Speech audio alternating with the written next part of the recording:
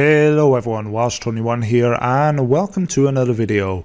In this video we're going to talk about how to use OBS to record screen captures uh, for YouTube Shorts.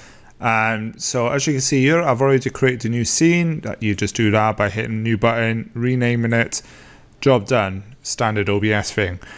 Uh, but in my original scene which I uh, record uh, my desktop with, I'll show you there, you know, I'm going to turn it off so you don't see it going all the way down.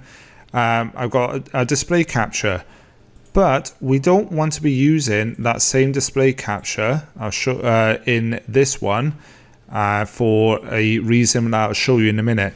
First thing you want to do though uh, to make this ready for shorts is to uh, basically adjust this. We're currently in landscape. YouTube Shorts is um, uh, portrait. So my mind went blank. So we want to go down settings down here. You could technically still do a square, but it's still better if you do it in portrait. At the moment, the aspect ratio is 16 by 9. We want to change that to 9 by 16.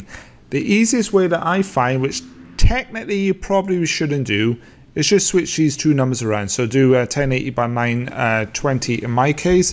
So 1080 by 1920 so that is now 9 by 16 and we want to make sure that the output is also the same.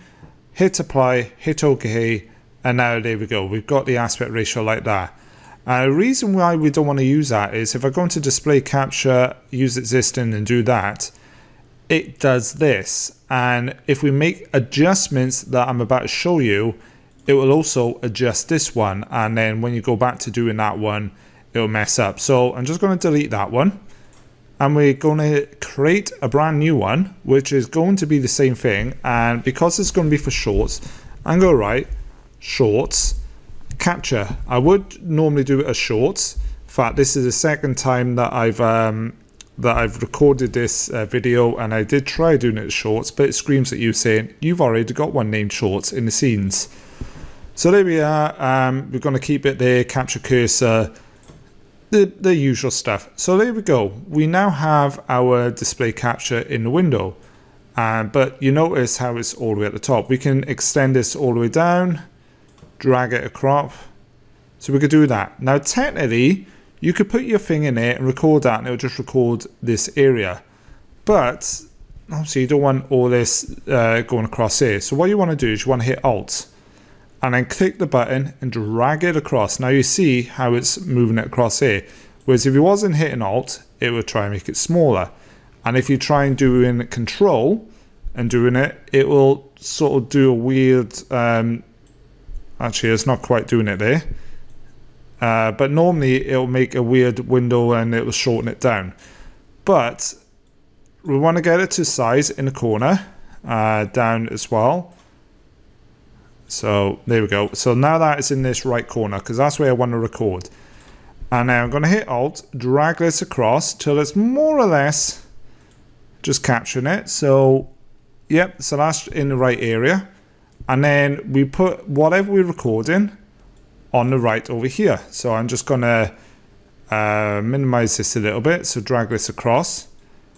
And then I'm going to be using, there we are. Um, Microsoft Edge, of course, uh, on the right there. And you can see I have sized it perfectly. So you can just obviously drag this and drag this into the area that you want to resize, which is about there.